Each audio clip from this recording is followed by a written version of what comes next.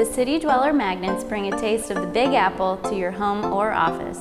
Each generously sized embroidered patch is backed with a strong flex magnet to display vacation photos, important notes, or your child's artwork prominently on your desk or fridge door.